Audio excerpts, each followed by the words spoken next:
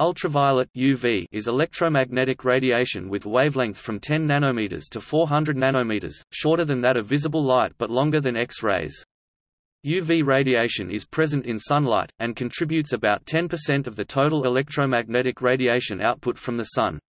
It is also produced by electric arcs and specialized lights, such as mercury vapor lamps, tanning lamps, and black lights.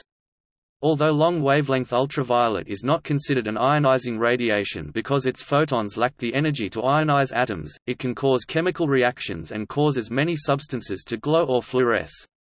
Consequently, the chemical and biological effects of UV are greater than simple heating effects, and many practical applications of UV radiation derive from its interactions with organic molecules. Suntan and sunburn are familiar effects of overexposure of the skin to UV, along with higher risk of skin cancer. Living things on dry land would be severely damaged by ultraviolet radiation from the sun if most of it were not filtered out by the Earth's atmosphere. More energetic, shorter wavelength, extreme UV below 121 nanometers ionizes air so strongly that it is absorbed before it reaches the ground. Ultraviolet is also responsible for the formation of bone-strengthening vitamin D in most land vertebrates, including humans specifically, UVB. The UV spectrum thus has effects both beneficial and harmful to human health. The lower wavelength limit of human vision is conventionally taken as 400 nanometers, so ultraviolet rays are invisible to humans, although some people can perceive light at slightly shorter wavelengths than this see below. Insects, birds, and some mammals can see near UV i.e. slightly lower wavelengths than humans can see.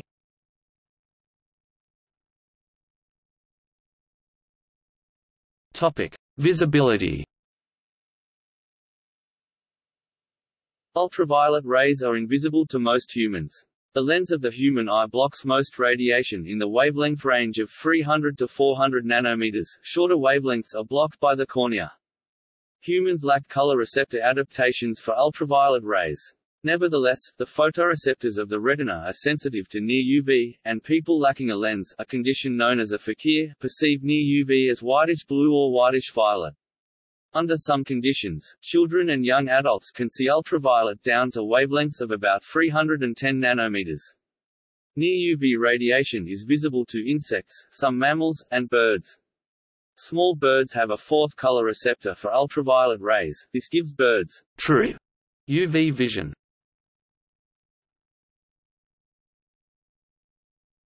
Topic: Discovery. Ultraviolet means beyond violet, from Latin ultra, beyond, violet being the color of the highest frequencies of visible light. Ultraviolet has a higher frequency and thus a shorter wavelength than violet light. UV radiation was discovered in 1801 when the German physicist Johann Wilhelm Ritter observed that invisible rays just beyond the violet end of the visible spectrum darken silver chloride soaked paper more quickly than violet light itself.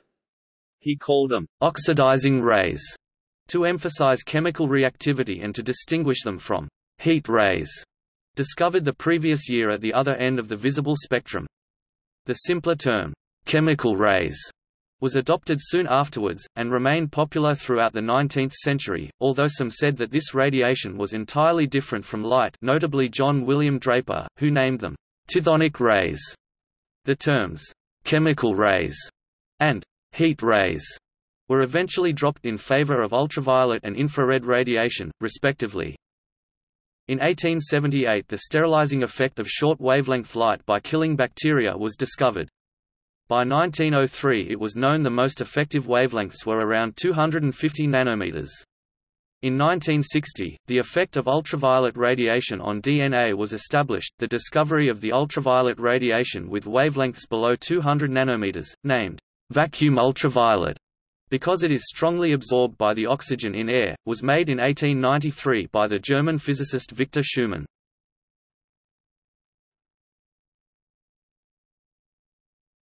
Subtypes.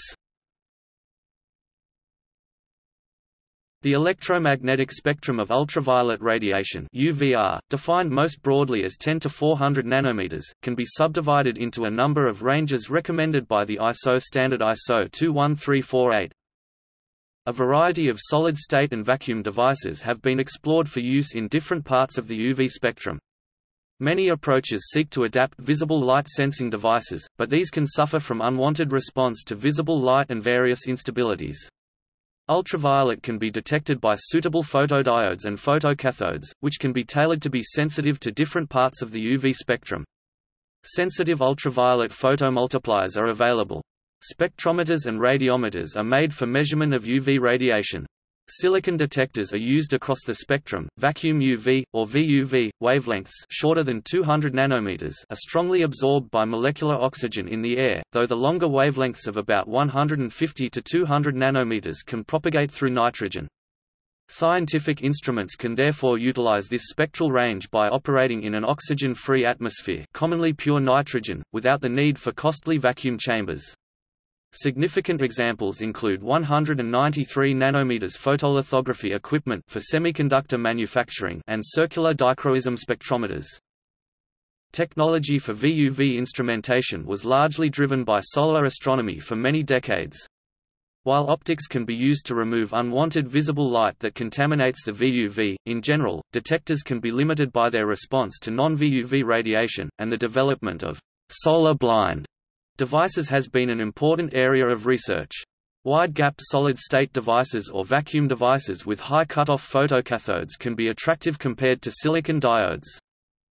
Extreme UV EUV or sometimes XUV is characterized by a transition in the physics of interaction with matter. Wavelengths longer than about 30 nanometers interact mainly with the outer valence electrons of atoms, while wavelengths shorter than that interact mainly with inner shell electrons and nuclei. The long end of the EUV spectrum is set by a prominent E plus spectral line at 30.4 nanometers. EUV is strongly absorbed by most known materials, but it is possible to synthesize multilayer optics that reflect up to about 50% of EUV radiation at normal incidence. This technology was pioneered by the NIXT and MSSTA sounding rockets in the 1990s, and it has been used to make telescopes for solar imaging. See also the Extreme Ultraviolet Explorer EUVE satellite. Some sources use the distinction of hard UV and soft UV. In the case of astrophysics the boundary may be at the Lyman limit i.e. wavelength 91.2 nanometers, with hard UV being more energetic. The same terms may also be used in other fields, such as cosmetology, optoelectronic, etc. The numerical value of the boundary between hard, soft even within similar scientific fields do not necessarily coincide, for example one applied physics publication used a boundary of 190 nanometers between hard and soft UV regions.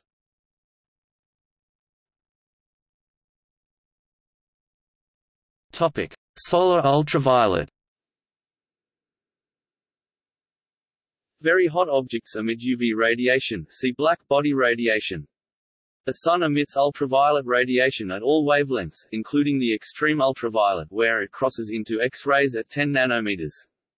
Extremely hot stars emit proportionally more UV radiation than the Sun. Sunlight in space at the top of Earth's atmosphere see solar constant is composed of about 50% infrared light, 40% visible light, and 10% ultraviolet light, for a total intensity of about 1400 with M2 in vacuum. The atmosphere blocks about 77% of the Sun's UV when the Sun is highest in the sky at zenith, with absorption increasing at shorter UV wavelengths.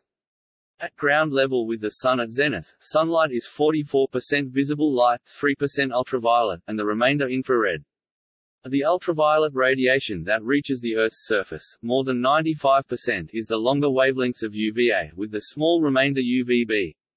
There is essentially no UVC. The fraction of UVB which remains in UV radiation after passing through the atmosphere is heavily dependent on cloud cover and atmospheric conditions.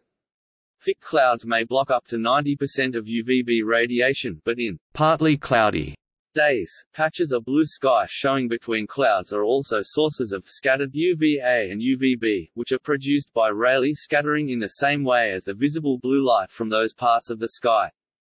UVB also plays a major role in plant development as it affects most of the plant hormones, the shorter bands of UVC, as well as even more energetic UV radiation produced by the Sun, are absorbed by oxygen and generate the ozone in the ozone layer when single oxygen atoms produced by UV photolysis of dioxygen react with more dioxygen.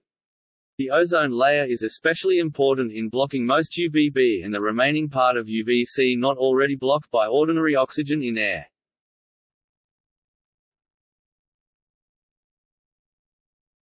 Topic: Blockers and absorbers. Ultraviolet absorbers are molecules used in organic materials polymers, paints, etc. to absorb UV radiation to reduce the UV degradation photooxidation of a material. The absorbers can themselves degrade over time, so monitoring of absorber levels in weathered materials is necessary. In sunscreen, ingredients that absorb UVA, UVB rays, such as avobenzone, oxybenzone and octylmethoxycinnamate, are organic chemical absorbers or blockers. They are contrasted with inorganic absorbers blockers of UV radiation such as carbon black, titanium dioxide and zinc oxide. For clothing, the ultraviolet protection factor UPF represents the ratio of sunburn causing UV without and with the protection of the fabric, similar to SPF sun protection factor ratings for sunscreen. Standard summer fabrics have UPF of approximately 6, which means that about 20% of UV will pass through. Suspended nanoparticles in stained glass prevent UV rays from causing chemical reactions that change image colors.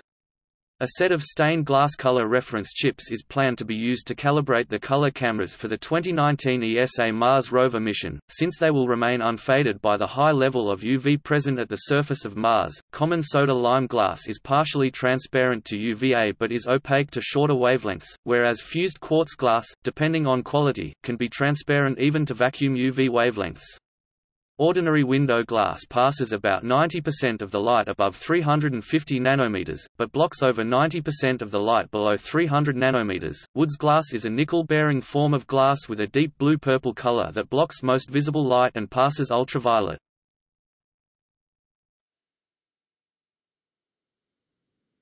Topic: Artificial sources.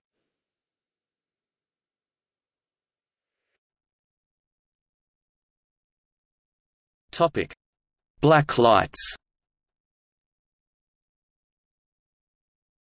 A black light lamp emits long-wave UVA radiation and little visible light. Fluorescent black light lamps work similarly to other fluorescent lamps, but use a phosphor on the inner tube surface which emits UVA radiation instead of visible light.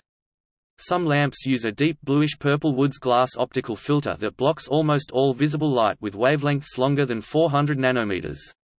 Others use plain glass instead of the more expensive Woods glass, so they appear light blue to the eye when operating.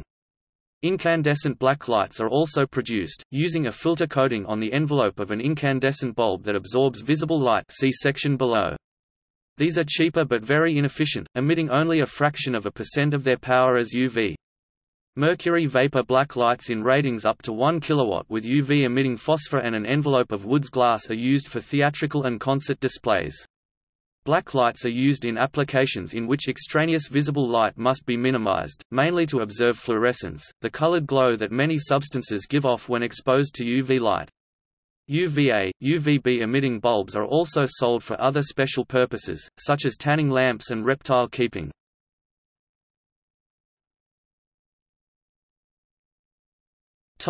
Short-wave ultraviolet lamps Shortwave UV lamps are made using a fluorescent lamp tube with no phosphor coating, composed of fused quartz, since ordinary glass absorbs UVC.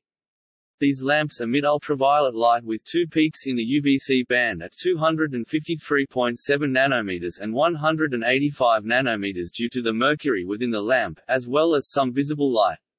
From 85% to 90% of the UV produced by these lamps is at 253.7 nanometers, whereas only 5 to 10% is at 185 nanometers. The fused quartz tube passes the 253.7 nanometers radiation but blocks the 185 nanometers wavelength. Such tubes have two or three times the UVC power of a regular fluorescent lamp tube. These low-pressure lamps have a typical efficiency of approximately 30 to 40%, meaning that for every 100 watts of electricity consumed by the lamp, they will produce approximately 30 to 40 watts of total UV output. They also emit bluish-white visible light, due to mercury's other spectral lines. These germicidal lamps are used extensively for disinfection of surfaces in laboratories and food processing industries, and for disinfecting water supplies.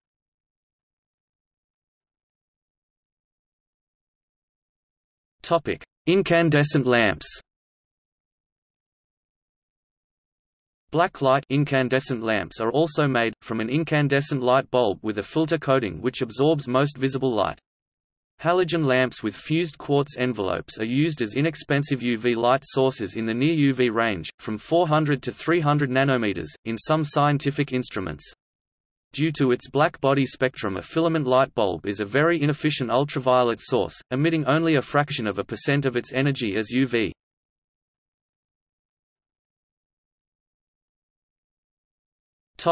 Gas discharge lamps. Specialized UV gas discharge lamps containing different gases produce UV radiation at particular spectral lines for scientific purposes. Argon and deuterium arc lamps are often used as stable sources, either windowless or with various windows such as magnesium fluoride. These are often the emitting sources in UV spectroscopy equipment for chemical analysis. Other UV sources with more continuous emission spectra include xenon arc lamps commonly used as sunlight simulators, deuterium arc lamps, mercury xenon arc lamps, and metal halide arc lamps. The excimer lamp, a UV source developed in the early 2000s, is seeing increasing use in scientific fields. It has the advantages of high intensity, high efficiency, and operation at a variety of wavelength bands into the vacuum ultraviolet.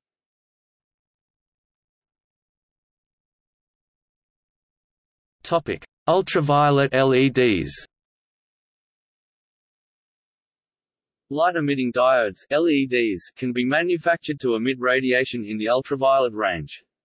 In 2019, following significant advances over the preceding five years, UVA LEDs of 365 nanometers and longer wavelength were available with efficiencies of 50% at 1000 mW output.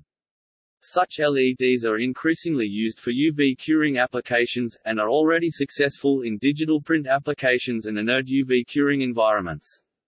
Power densities approaching 3 W per square centimeter, 30 kilowatts per square meter, are now possible, and this, coupled with recent developments by photoinitiator and resin formulators, makes the expansion of LED-cured UV materials likely. UVC LEDs are beginning to be used in disinfection and as line sources to replace deuterium lamps in liquid chromatography instruments.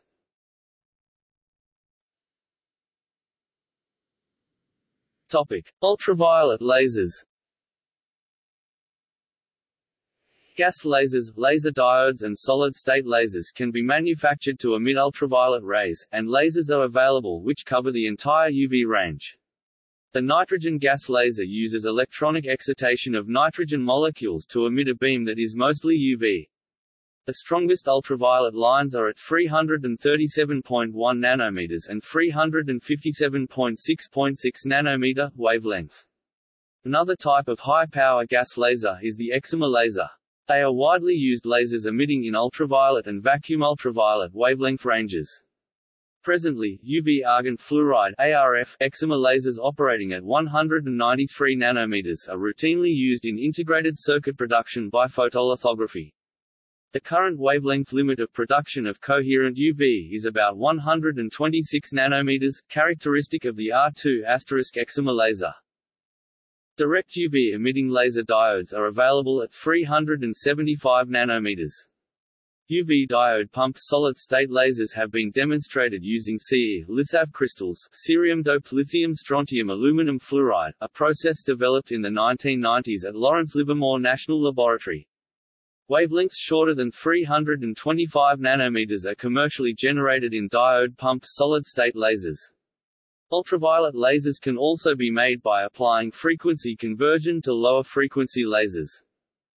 Ultraviolet lasers have applications in industry, laser engraving, medicine, dermatology, and keratectomy, chemistry, MALDI, free air secure communications, computing, optical storage, and manufacture of integrated circuits.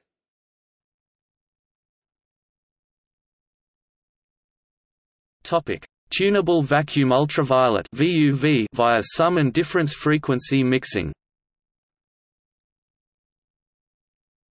The vacuum ultraviolet VUV band 100 to 200 nanometers can be generated by nonlinear four-wave mixing in gases by sum or difference frequency mixing of two or more longer wavelength lasers. The generation is generally done in gases e.g. krypton, hydrogen which are two-photon resonant near 193 nanometers or metal vapors e.g. magnesium. By making one of the lasers tunable, the VUV can be tuned. If one of the lasers is resonant with a transition in the gas or vapor then the VUV production is intensified. However, resonances also generate wavelength dispersion, and thus the phase matching can limit the tunable range of the four-wave mixing. Difference frequency mixing lambda 1 plus lambda 2 minus lambda 3 has an advantage over sum frequency mixing because the phase matching can provide greater tuning. In particular, difference frequency mixing two photons of an ARF 193 nanometers excimer laser with a tunable visible or near IR laser in hydrogen or krypton provides resonantly enhanced tunable VUV covering from 100 nanometers to 200 nanometers. Practically, the lack of suitable gas-vapor cell window materials above the lithium fluoride cutoff wavelength limit the tuning range to longer than about 110 nanometers. Tunable VUV wavelengths down to 75 nanometers was achieved using window-free configurations.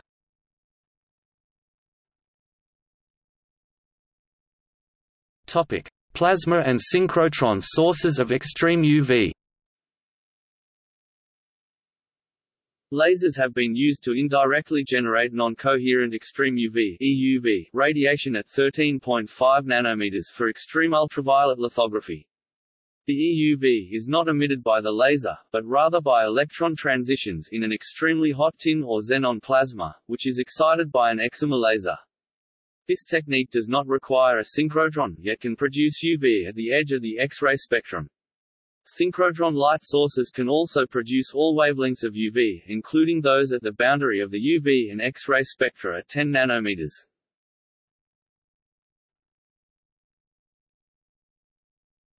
Topic: Human health-related effects.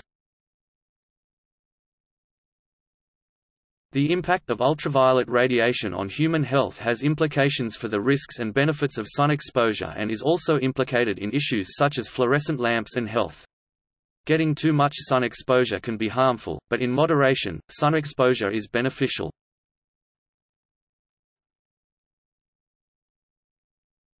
Topic: Beneficial effects. There is no doubt that a little sunlight is good for you. But 5 to 15 minutes of casual sun exposure of hands, face and arms 2 to 3 times a week during the summer months is sufficient to keep your vitamin D levels high. World Health Organization UV light causes the body to produce vitamin D specifically, UVB, which is essential for life.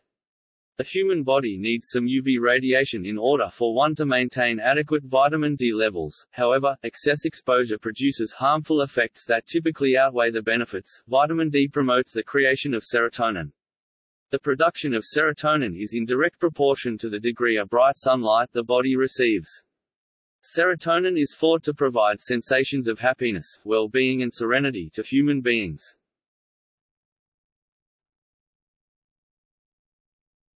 Topic: Skin conditions.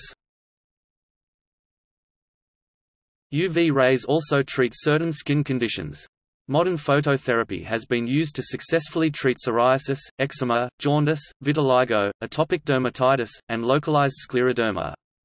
In addition, UV light, in particular UVB radiation, has been shown to induce cell cycle arrest in keratinocytes, the most common type of skin cell.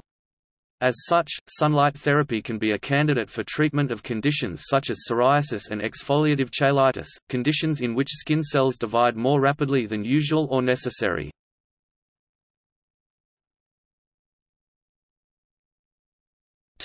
Harmful effects. In humans, excessive exposure to UV radiation can result in acute and chronic harmful effects on the eye's dioptric system and retina. The risk is elevated at high altitudes and people living in high-latitude countries where snow covers the ground right into early summer and sun positions even at zenith are low, are particularly at risk. Skin, the circadian and immune systems can also be affected. The differential effects of various wavelengths of light on the human cornea and skin are sometimes called the Erythemal action spectrum. The action spectrum shows that UVA does not cause immediate reaction, but rather UV begins to cause photokeratitis and skin redness with Caucasians more sensitive at wavelengths starting near the beginning of the UVB band at 315 nanometers, and rapidly increasing to 300 nanometers.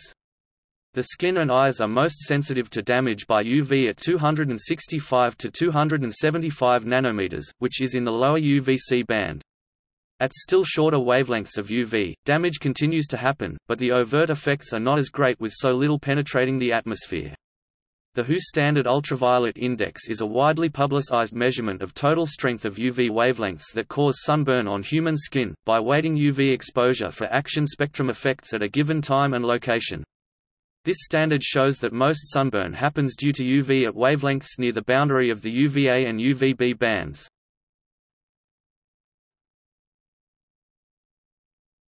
Topic: Skin damage. Overexposure to UVB radiation not only can cause sunburn but also some forms of skin cancer. However, the degree of redness and eye irritation which are largely not caused by UVA do not predict the long-term effects of UV, although they do mirror the direct damage of DNA by ultraviolet. All bands of UV radiation damage collagen fibers and accelerate aging of the skin. Both UVA and UVB destroy vitamin A in skin, which may cause further damage. UVB radiation can cause direct DNA damage. This cancer connection is one reason for concern about ozone depletion and the ozone hole. The most deadly form of skin cancer, malignant melanoma, is mostly caused by DNA damage independent from UVA radiation. This can be seen from the absence of a direct UV signature mutation in 92% of all melanoma. Occasional overexposure and sunburn are probably greater risk factors for melanoma than long-term moderate exposure. UVC is the highest energy, most dangerous type of ultraviolet radiation, and causes adverse effects that can variously be mutagenic or carcinogenic. In the past, UVA was considered not harmful or less harmful than UVB, but today it is known to contribute to skin cancer via indirect DNA damage free radicals such as reactive oxygen species. UVA can generate highly reactive chemical intermediates, such as hydroxyl and oxygen radicals, which in turn can damage DNA. The DNA damage caused indirectly to skin by UVA consists mostly of single-strand breaks in DNA, while the damage caused by UVB includes direct formation of thymine dimers or cytosine dimers and double-strand DNA breakage. UVA is immunosuppressive for the entire body accounting for a large part of the immunosuppressive effects of sunlight exposure, and is mutagenic for basal cell keratinocytes in skin. UVB photons can cause direct DNA damage. UVB radiation excites DNA molecules in skin cells, causing aberrant covalent bonds to form between adjacent pyrimidine bases, producing a dimer. Most UV-induced pyrimidine dimers in DNA are removed by the process known as nucleotide excision repair that employs about 30 different proteins. Those pyrimidine dimers that escape this repair process can induce a form of programmed cell death apoptosis or can cause DNA replication errors leading to mutation. As a defense against UV radiation, the amount of the brown pigment melanin in the skin increases when exposed to moderate depending on skin type levels of radiation. This is commonly known as a suntan. The purpose of melanin is to absorb UV radiation and dissipate the energy as harmless heat, protecting the skin against both direct and indirect DNA damage from the UV. UVA gives a quick tan that lasts for days by oxidizing melanin that was already present and triggers the release of the melanin from melanocytes. UVB yields a tan that takes roughly two days to develop because it stimulates the body to produce more melanin. Sunscreen safety debate Medical organizations recommend that patients protect themselves from UV radiation by using sunscreen. Five sunscreen ingredients have been shown to protect mice against skin tumors. However, some sunscreen chemicals produce potentially harmful substances if they are illuminated while in contact with living cells. The amount of sunscreen that penetrates into the lower layers of the skin may be large enough to cause damage. Sunscreen reduces the direct DNA damage that causes sunburn, by blocking UVB, and the usual SPF rating indicates how effectively this radiation is blocked. SPF is, therefore, also called UVBPF, for UVB protection factor. This rating, however, offers no data about important protection against UVA, which does not primarily cause sunburn but is still harmful, since it causes indirect DNA damage and is also considered carcinogenic.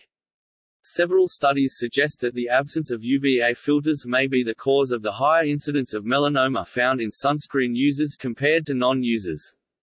Some sunscreen lotions now contain compounds including titanium dioxide, zinc oxide and avobenzone which helps protect against UVA rays. The photochemical properties of melanin make it an excellent photoprotectant. However, sunscreen chemicals cannot dissipate the energy of the excited state as efficiently as melanin and therefore, if sunscreen ingredients penetrate into the lower layers of the skin, the amount of reactive oxygen species may be increased. The amount of sunscreen that penetrates through the stratum corneum may or may not be large enough to cause damage. In an experiment by Hansen et al. that was published in 2006, the amount of harmful reactive oxygen species ROS was measured in untreated and in sunscreen-treated skin. In the first 20 minutes, the film of sunscreen had a protective effect and the number of ROS species was smaller. After 60 minutes, however, the amount of absorbed sunscreen was so high that the amount of ROS was higher in the sunscreen-treated skin than in the untreated skin. The study indicates that sunscreen must be reapplied within two hours in order to prevent UV light from penetrating to sunscreen-infused live skin cells.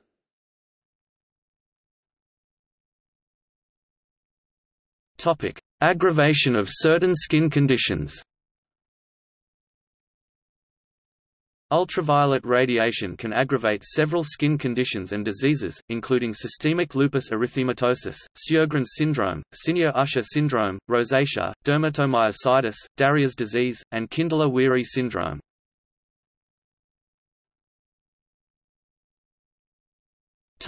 Eye damage the eye is most sensitive to damage by UV in the lower UVC band at 265 to 275 nanometers. Radiation of this wavelength is almost absent from sunlight but is found in welders' arc lights and other artificial sources. Exposure to these can cause welders' flash, or arc eye, photokeratitis, and can lead to cataracts, pterygium and pinguecular formation. To a lesser extent, UVB in sunlight from 310 to 280 nanometers also causes photokeratitis, snow blindness. When the cornea, the lens, and the retina can be damaged, protective eyewear is beneficial to those exposed to ultraviolet radiation. Since light can reach the eyes from the sides, full coverage eye protection is usually warranted if there is an increased risk of exposure, as in high-altitude mountaineering. Mountaineers are exposed to higher than ordinary levels of UV radiation, both because there is less atmospheric filtering and because of reflection from snow and ice. Ordinary, untreated eyeglasses give some protection. Most plastic lenses give more protection than glass lenses, because, as noted above, glass is transparent to UVA and the common acrylic plastic used for lenses is less so. Some plastic lens materials, such as polycarbonate, inherently block most UV.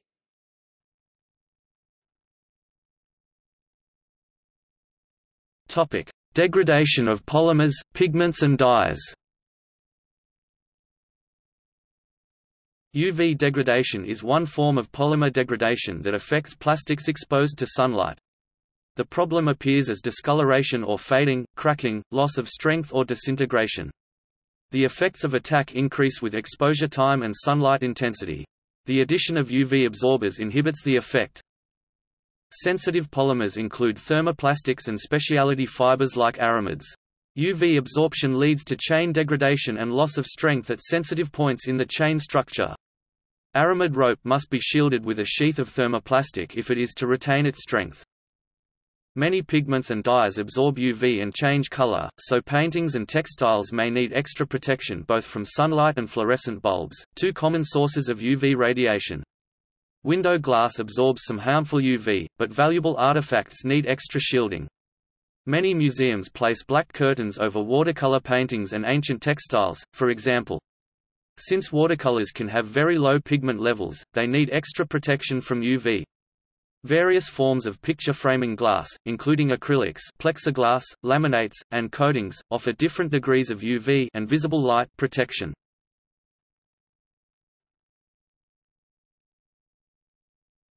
Topic: Applications. Because of its ability to cause chemical reactions and excite fluorescence in materials, ultraviolet radiation has a number of applications. The following table gives some uses of specific wavelength bands in the UV spectrum. 13. 5 nanometers, extreme ultraviolet lithography. 30 to 200 nanometers, photoionization, ultraviolet photoelectron spectroscopy, standard integrated circuit manufacture by photolithography.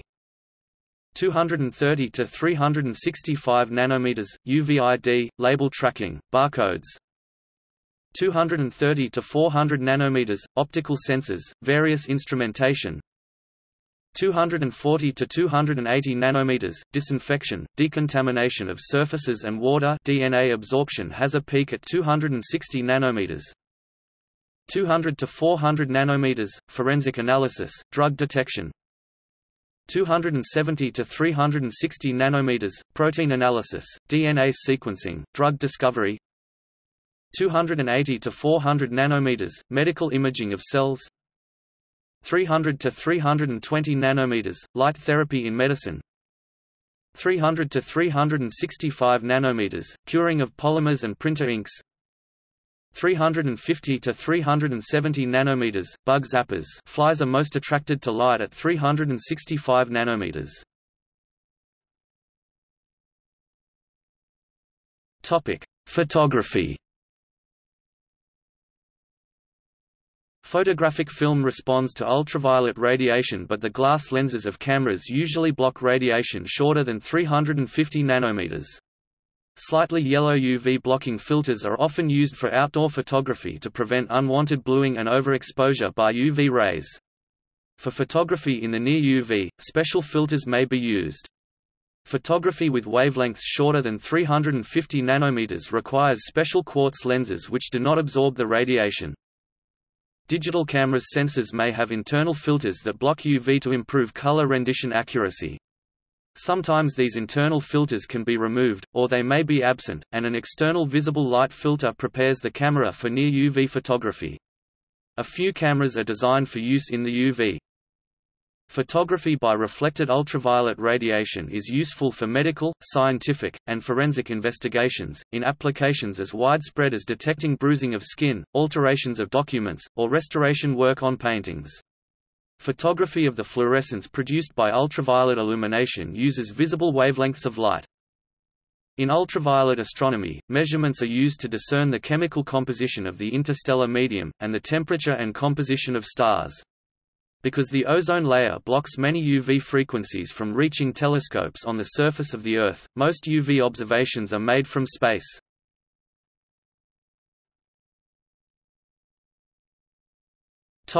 Electrical and electronics industry. Corona discharge on electrical apparatus can be detected by its ultraviolet emissions.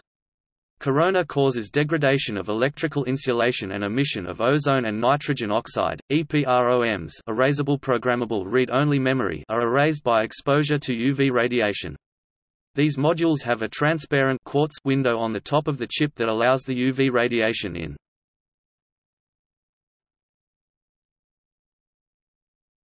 Topic: Fluorescent dye users. Colorless fluorescent dyes that emit blue light under UV are added as optical brighteners to paper and fabrics. The blue light emitted by these agents counteracts yellow tints that may be present and causes the colors and whites to appear whiter or more brightly colored. UV fluorescent dyes that glow in the primary colors are used in paints, papers, and textiles either to enhance color under daylight illumination or to provide special effects when lit with UV lamps. Blacklight paints that contain dyes that glow under UV are used in a number of art and aesthetic applications. Amusement parks often use UV lighting to fluoresce ride artwork and backdrops. This often has the side effect of causing riders' white clothing to glow light purple. To help prevent counterfeiting of currency, or forgery of important documents such as driver's licenses and passports, the paper may include a UV watermark or fluorescent multicolor fibers that are visible under ultraviolet light. Postage stamps are tagged with a phosphor that glows under UV rays to permit automatic detection of the stamp and facing of the letter. UV fluorescent dyes are used in many applications for example, biochemistry and forensics. Some brands of pepper spray will leave an invisible chemical UV dye that is not easily washed off on a pepper-sprayed attacker, which would help police identify the attacker later. In some types of non-destructive testing UV stimulates fluorescent dyes to highlight defects in a broad range of materials. These dyes may be carried into surface-breaking defects by capillary action liquid penetrant inspection or they may be bound to ferrite particles caught in magnetic leakage fields in ferrous materials magnetic particle inspection.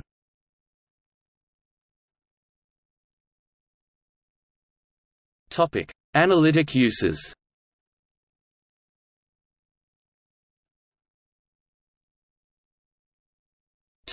Forensics UV is an investigative tool at the crime scene helpful in locating and identifying bodily fluids such as semen, blood, and saliva.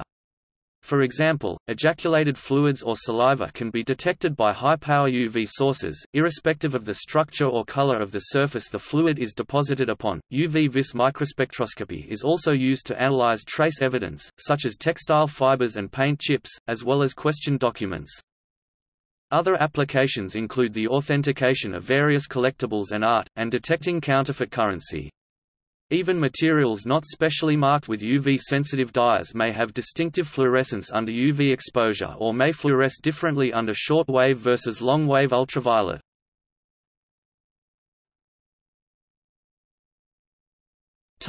Enhancing contrast of ink Using multispectral imaging it is possible to read illegible papyrus, such as the burned papyri of the Villa of the Papyri or of Oxyrhynchus, or the Archimedes palimpsest. The technique involves taking pictures of the illegible document using different filters in the infrared or ultraviolet range, finely tuned to capture certain wavelengths of light. Thus, the optimum spectral portion can be found for distinguishing ink from paper on the papyrus surface. Simple NUV sources can be used to highlight faded iron-based ink on vellum.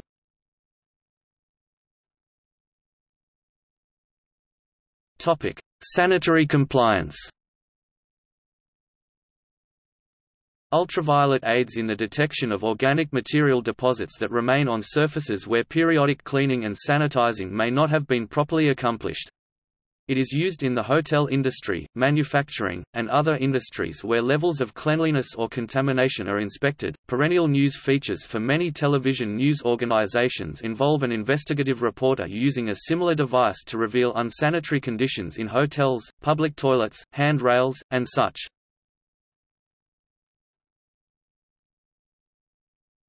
Topic: Chemistry UV-vis spectroscopy is widely used as a technique in chemistry to analyze chemical structure, the most notable one being conjugated systems. UV radiation is often used to excite a given sample where the fluorescent emission is measured with a spectrofluorometer. In biological research, UV radiation is used for quantification of nucleic acids or proteins. Ultraviolet lamps are also used in analyzing minerals and gems. In pollution control applications, ultraviolet analyzers are used to detect emissions of nitrogen oxides, sulfur compounds, mercury, and ammonia, for example in the flue gas of fossil-fired power plants. Ultraviolet radiation can detect thin sheens of spilled oil on water, either by the high reflectivity of oil films at UV wavelengths, fluorescence of compounds in oil or by absorbing of UV created by Raman scattering in water.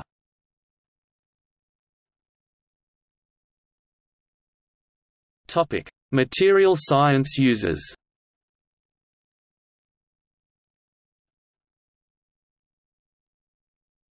Topic: Fire detection. In general, ultraviolet detectors use either a solid-state device, such as one based on silicon carbide or aluminium nitride, or a gas-filled tube as the sensing element. UV detectors that are sensitive to UV in any part of the spectrum respond to irradiation by sunlight and artificial light. A burning hydrogen flame, for instance, radiates strongly in the 185 to 260 nanometer range and only very weakly in the IR region, whereas a coal fire emits very weakly in the UV band yet very strongly at IR wavelengths. Thus, a fire detector that operates using both UV and IR detectors is more reliable than one with a UV detector alone. Virtually all fires emit some radiation in the UVC band, whereas the Sun's radiation at this band is absorbed by the Earth's atmosphere. The result is that the UV detector is solar blind, meaning it will not cause an alarm in response to radiation from the Sun, so it can easily be used both indoors and outdoors. UV detectors are sensitive to most fires, including hydrocarbons, metals, sulfur, hydrogen, hydrazine, and ammonia. Arc welding, electrical arcs, lightning, X-rays used in non-destructive metal testing equipment though this is highly unlikely, and radioactive materials can produce levels that will activate a UV detection system. The presence of UV-absorbing gases and vapors will attenuate the UV radiation from a fire, adversely affecting the ability of the detector to detect flames.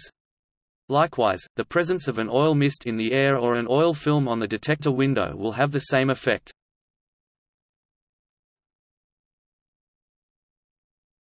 Topic: Photolithography. Ultraviolet radiation is used for very fine resolution photolithography, a procedure wherein a chemical called a photoresist is exposed to UV radiation that has passed through a mask. The exposure causes chemical reactions to occur in the photoresist. After removal of unwanted photoresist, a pattern determined by the mask remains on the sample. Steps may then be taken to etch away, deposit on or otherwise modify areas of the sample where no photoresist remains. Photolithography is used in the manufacture of semiconductors, integrated circuit components, and printed circuit boards. Photolithography processes used to fabricate electronic integrated circuits presently use 193 nm UV and are experimentally using 13.5 nm UV for extreme ultraviolet lithography.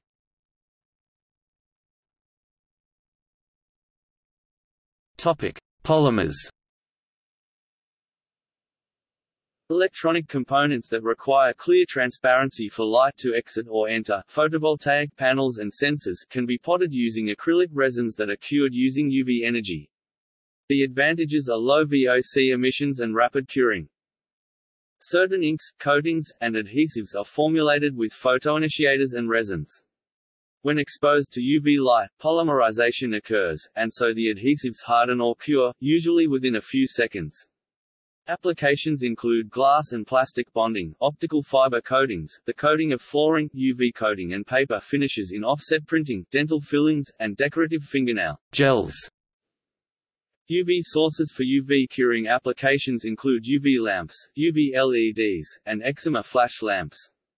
Fast processes such as flexo or offset printing require high-intensity light focused via reflectors onto a moving substrate and medium so high-pressure Hg mercury, or Fe iron, doped base bulbs are used, energized with electric arcs or microwaves. Lower power fluorescent lamps and LEDs can be used for static applications. Small high-pressure lamps can have light focused and transmitted to the work area via liquid-filled or fiber optic light guides. The impact of UV on polymers is used for modification of the roughness and hydrophobicity of polymer surfaces. For example, a poly-methyl methacrylate surface can be smoothed by vacuum ultraviolet UV radiation is useful in preparing low surface energy polymers for adhesives. Polymers exposed to UV will oxidize, thus raising the surface energy of the polymer. Once the surface energy of the polymer has been raised, the bond between the adhesive and the polymer is stronger.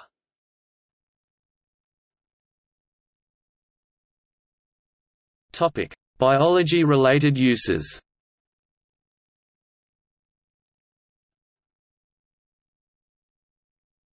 Topic: Air purification. Using a catalytic chemical reaction from titanium dioxide and UVC exposure, oxidation of organic matter converts pathogens, pollens, and mold spores into harmless inert byproducts. However, the reaction of titanium dioxide and UVC is not a straight path. Several hundreds of reactions occur prior to the inert byproduct stage and can hinder the resulting reaction creating formaldehyde, aldehyde, and other VOCs en route to a final stage. Thus, the use of titanium dioxide and UVC requires very specific parameters for a successful outcome. The cleansing mechanism of UV is a photochemical process. Contaminants in the indoor environment are almost entirely organic carbon-based compounds, which break down when exposed to high-intensity UV at 240 to 280 nanometers. Short-wave ultraviolet radiation can destroy DNA in living microorganisms. UVC's effectiveness is directly related to intensity and exposure time. UV has also been shown to reduce gaseous contaminants such as carbon monoxide and VOCs. UV lamps radiating at 184 and 254 nanometers can remove low concentrations of hydrocarbons and carbon monoxide if the air is recycled between the room and the lamp chamber. This arrangement prevents the introduction of ozone into the treated air. Likewise, air may be treated by passing by a single UV source operating at 184 nanometers and passed over iron pentoxide to remove the ozone produced by the UV lamp.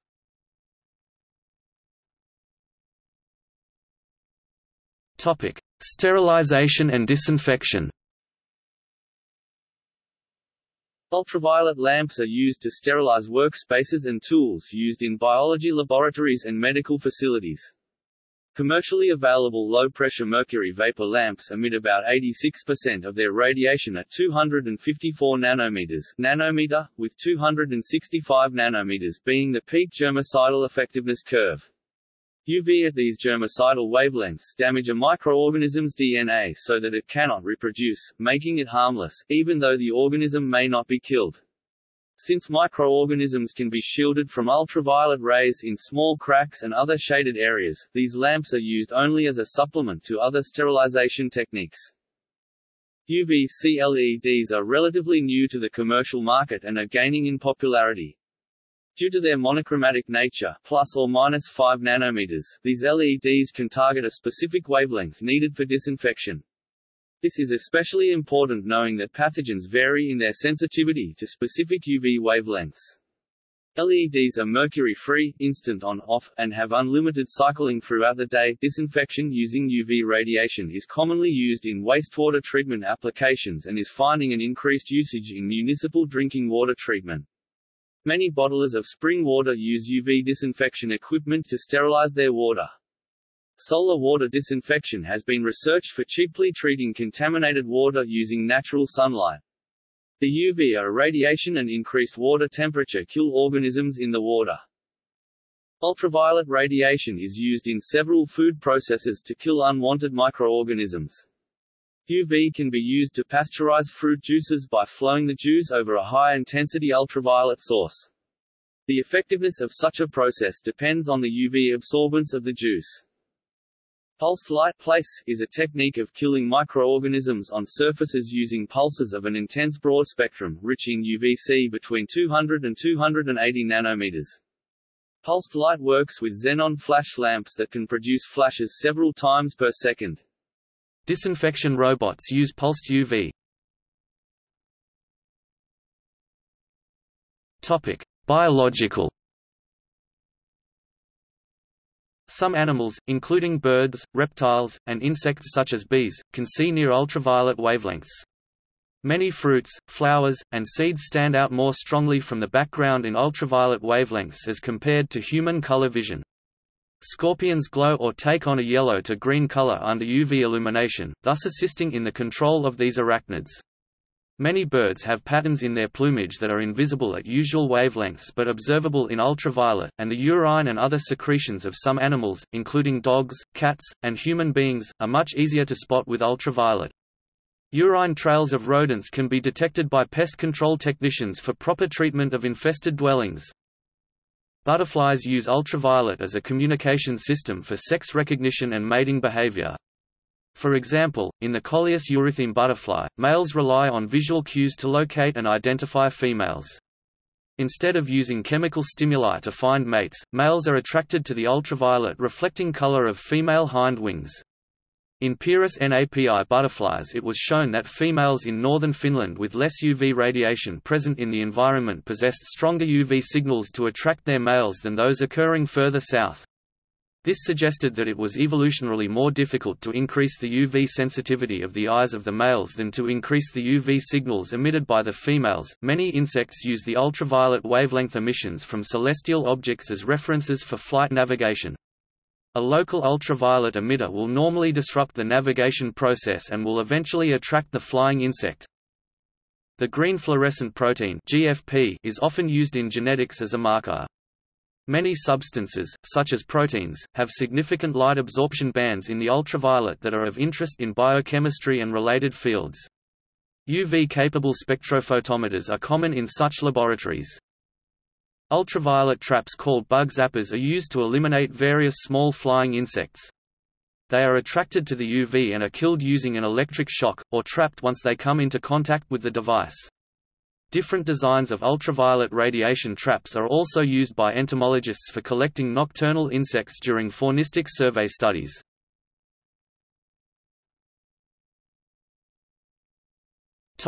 Therapy Ultraviolet radiation is helpful in the treatment of skin conditions such as psoriasis and vitiligo. Exposure to UVA, while the skin is hyperphotosensitive, by taking psoralens is an effective treatment for psoriasis. Due to the potential of psoralens to cause damage to the liver, PUVA therapy may be used only a limited number of times over a patient's lifetime. UVB phototherapy does not require additional medications or topical preparations for the therapeutic benefit, only the exposure is needed. However, phototherapy can be effective when used in conjunction with certain topical treatments such as anthralin, coal tar, and vitamin A and D derivatives, or systemic treatments such as methotrexate and soriatane.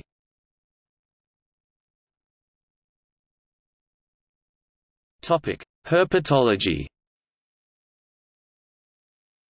Reptiles need UVB for biosynthesis of vitamin D, and other metabolic processes specifically cholecalciferol, vitamin D3, which is needed to for basic cellular, neural functioning as well as the utilization calcium for bone and egg production.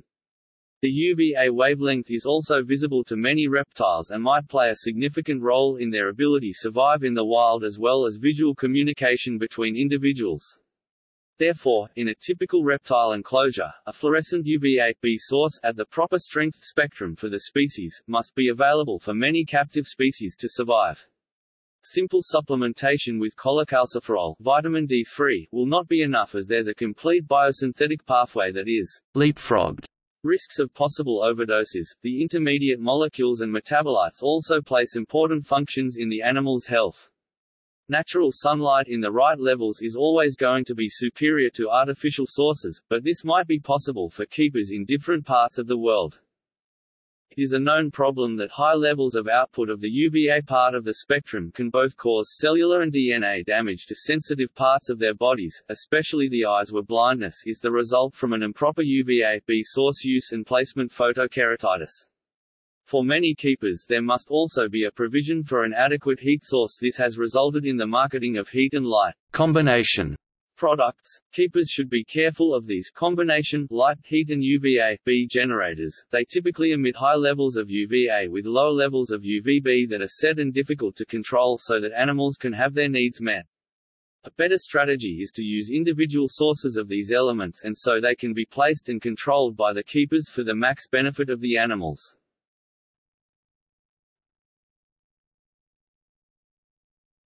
Topic: Evolutionary significance. The evolution of early reproductive proteins and enzymes is attributed in modern models of evolutionary theory to ultraviolet radiation. UVB causes thymine base pairs next to each other in genetic sequences to bond together into thymine dimers, a disruption in the strand that reproductive enzymes cannot copy. This leads to frameshifting during genetic replication and protein synthesis, usually killing the cell. before formation of the UV-blocking ozone layer. When early prokaryotes approached the surface of the ocean, they almost invariably died out. The few that survived had developed enzymes that monitored the genetic material and removed thymine dimers by nucleotide excision repair enzymes. Many enzymes and proteins involved in modern mitosis and meiosis are similar to repair enzymes, and are believed to be evolved modifications of the enzymes originally used to overcome DNA damages caused by UV.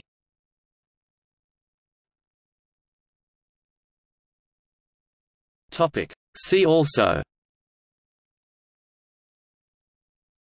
High-energy visible light Ultraviolet catastrophe UV stabilizers in plastics Weather testing of polymers. Ultraviolet germicidal irradiation. Ultraviolet index